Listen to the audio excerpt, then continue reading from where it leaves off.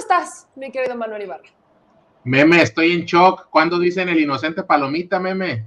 No, pues es que no. No, no hay todavía la declaración. No. Es meta. Bueno, pues te mandamos un abrazo y, vas a ver que queda en muy buenas manos el espacio y aquí estaremos, ya sabes, para lo que se ofrezca, meme. Yo sé que sí, mi querido Manuelito, y bueno, no es un adiós, es un hasta pronto, así lo hemos querido ver, pero vamos a entrarle, mi querido Manuelito, porque hoy, eh, hoy no fue, es, obviamente esta situación no, no es ni para tomar la broma, ni mucho menos eh, la muerte de Armando Manzanero, pero curiosamente hace algunas semanas, no tiene mucho, fue a inaugurar un evento con el gobernador de Yucatán. ¿Cómo? Yo no quisiera hacerlo responsable, mi querido Manuelito, pero las fechas no me checan. Sí, meme, de hecho, lo que estábamos comentando, porque el, comentario de este tema salió en redes, ¿no? Decía, pues el, maestro Manzanero falleció pues este, relativamente rápido y nos informaron que el gobernador de Yucatán, Mauricio Vila Dosal, incluso estaba también el secretario de Turismo Miguel Torruco, pues llevaron al señor Manzanero, que ya, ya era una persona mayor de 85 años, a inaugurar Casa Manzanero, un museo dedicado al intérprete, ¿no? Y, realmente ahí podemos ver las fotos, este, incluso en el Twitter de este señor Mauricio Vila, meme, y, pues vemos que el señor eh, Manzanero, que insisto, es pues una persona, pues ya, ya era de, una edad considerable, más de ocho décadas, pues estaba tomando, estaba, ¿cómo se llama? Este, recortando el listón, saludando, tocando al gobernador Mauricio Vila, posando para fotos y pues desgraciadamente no tenemos la capacidad que tienen otros países para hacer el famoso este, este, investigación de contactos, ¿no? Pero pues no creo que haya beneficiado en nada en llevar a un adulto mayor, meme, a un lugar cerrado, un museo, o sea, convivir pues con lo que parece ser decenas de personas y, pues este, para que según lo que relatan eh, informaciones en redes sociales, dos, tres días después haya comenzado con síntomas el señor, es, es preocupante, de hecho. Así es, y mira, aunque Yucatán es una de las entidades que no está tan mal, ¿no? Quiero decirlo así, no tan mal y entre comillas, tampoco es como para llevar ese tema a la ligera. Hablamos particularmente de que hay personas, sobre todo personas que son de la tercera edad, que son grupos vulnerables. Ahora, este fue un evento en su mayoría a puertas abiertas, estaban todos con cubrebocas, pero vaya, conozco gente que se ha contagiado hasta en su casa. Entonces, no, nadie está exento del virus, nadie, absolutamente nadie. Y creo que eso tenemos que seguirlo reafirmando. Creo que hay que intentar, creo que hay que ser todavía más claros con esta situación.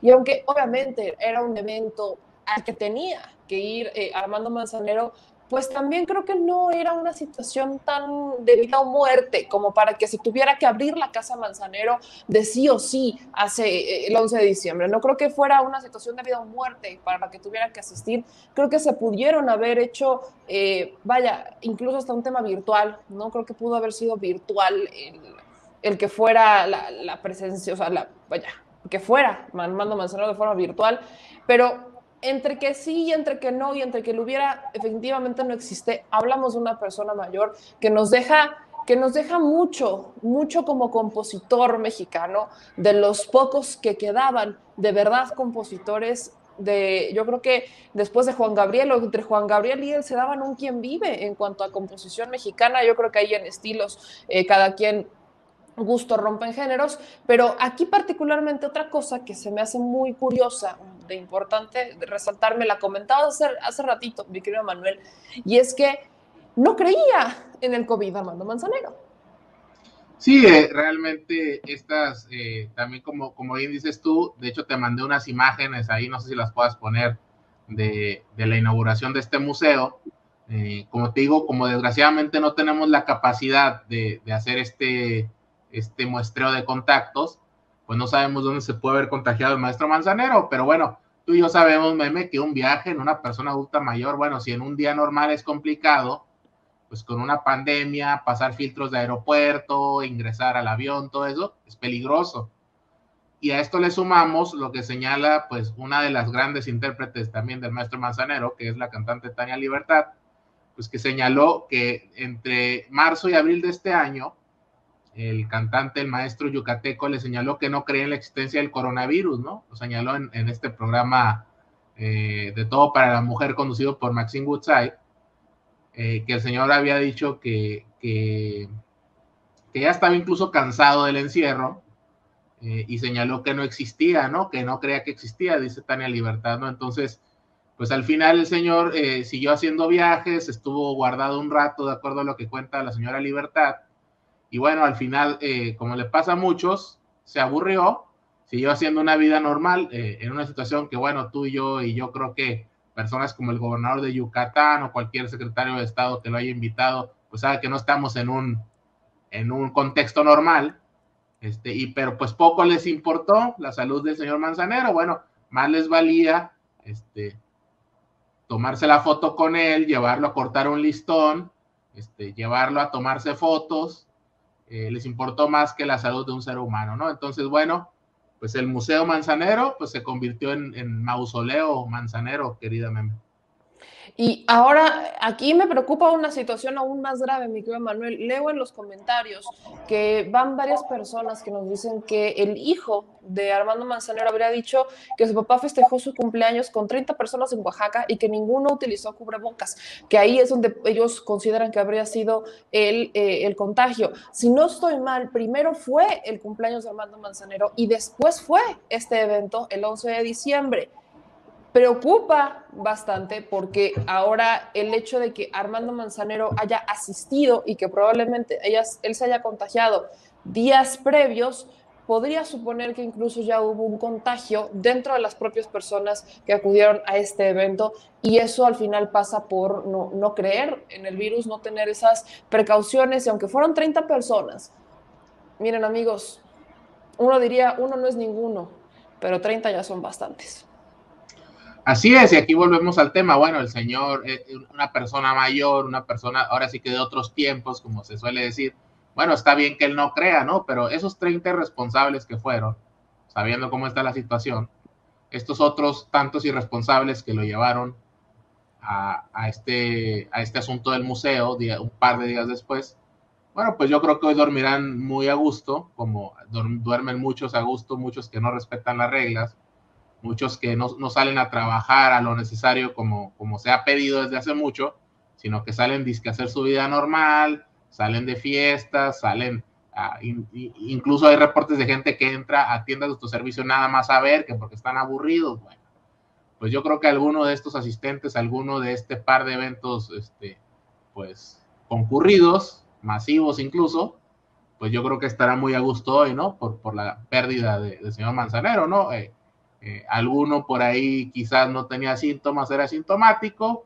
no les importó, siguieron socializando con el señor, un adulto mayor, y bueno, pues se va un señor que a sus 85 años estaba lúcido, estaba este, muy, muy, en muy buenas condiciones. ¿Y por qué? Pues por una tontería, creo yo. Y aquí solo para, para ya cerrar y, concluir, mi querido Manuel, hace unos momentos, no sé si ustedes lo hicieron, hubo una convocatoria eh, por parte de la Sociedad de Autores y Compositores de México. Eh, hubo muchas personas, por ahí sí empecé a ver que empezaron a subir sus videos, ya los iremos eh, recolectando y recopilando. No se salieron a las ventanas, pero sí se grabaron muchos en donde pedían que se cantara con Armando Manzanero. Abre tu ventana y canta esta tarde Villover en homenaje a Armando Manzanero hoy a las 20 horas, tiempo del centro de México. Podemos crear el coro a distancia más grande del mundo para que se escuche hasta el infinito y acompañe al maestro en su viaje.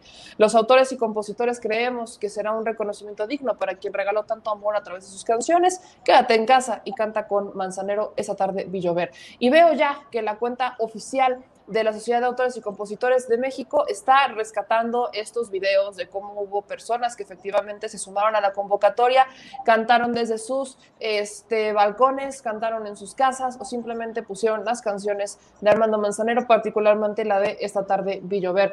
Así es como se conmemora la partida de alguien que sí fue muy importante. Esta es una nota internacional, entendámoslo de esta manera. Las canciones de Armando Manzanero no nada más se quedaron en México, llegaron a traspasar fronteras y es un mexicano más que deja huella, que deja una huella importante en la cultura y en el arte de nuestro querido México, mi querido Manuel.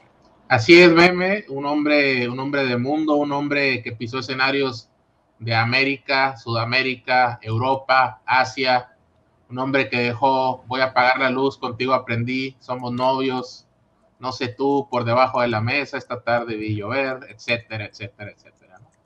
Y como bien tú, un hombre que, que se daba un quien vive con Juan Gabriel y Juan Gabriel incluso interpretó las canciones de Manzanero, entonces pues había un mutuo respeto, meme.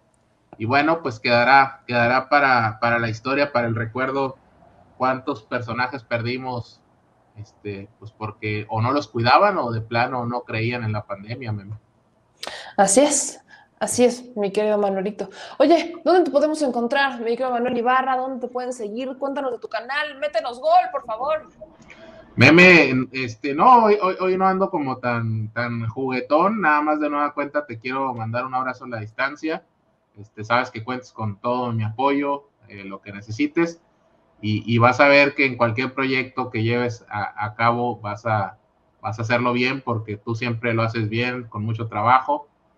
Y bueno, ahí está el canal si alguien quiere entrar, ahí está Manuel Ibarra 2 más 2, pero de nueva cuenta quiero aprovechar más esta oportunidad para, para felicitarte y para, pues, para desearte lo mejor en, en, todos los proyectos que emprendas, que bueno, ya sabemos dónde están y estamos a tus órdenes cuando ocupes cualquier tipo de apoyo.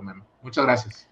No, hombre, gracias a ti, mi querido Manuelito. Este, este, este espacio de Sin Censura me ha dejado grandes amigos y tú, sin duda, eres uno de ellos. No tengo cómo agradecerle a esta familia Sin Censura todo lo que me ha dado. Así son los ciclos, pero yo estoy contentísima y estoy segura que tomaré la palabra. Te mando un beso bien grande hasta Chicali, que Manuel Ibarra. Un beso y, este, y bueno, quedamos en contacto ahí con un par de temas que ya sabes que tenemos pendientes. Un abrazo, Memita. Así es, todavía tenemos ahí pendientes temas, no te preocupes, los retomamos, los retomamos en estos días, te mando un abrazo. Y